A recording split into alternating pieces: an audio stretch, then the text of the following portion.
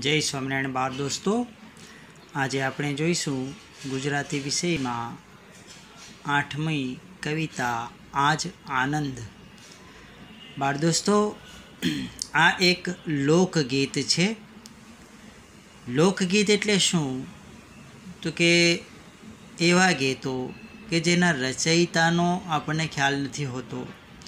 લોકગીતનો રચનાર હંમેશા પડદા પાછળ રહેતો હોય છે. તેથી તેના નામઠામ વિશે આપણને ભાગ્યે જ કશી માહિતી મળતી હોય છે.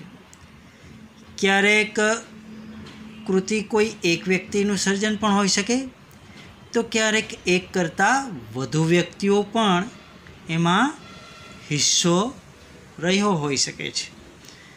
તો લોકગીતને આપણે એમ કહી શકીએ કે આપણી સાંસ્કૃતિક પરંપરામાં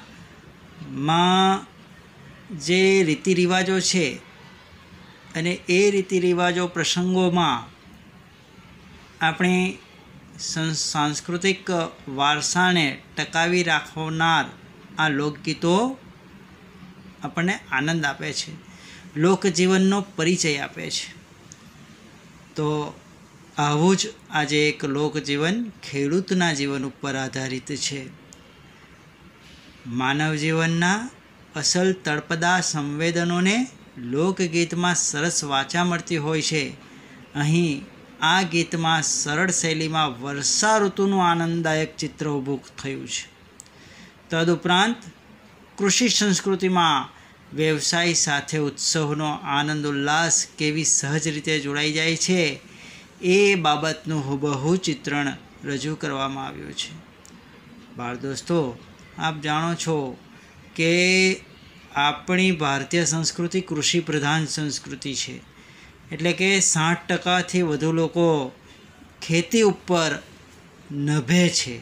એમનું જીવન ખેતી ઉપર નભેલું છે. એટલે આપણી સંસ્કૃતિ કૃષિ સંસ્કૃતિ છે. પણ એ કૃષિ સંસ્કૃતિની સાથે સાથે જે માનવ જીવન વણાયેલું છે, એ ઉત્સવપ્રિય માનવ જીવન છે.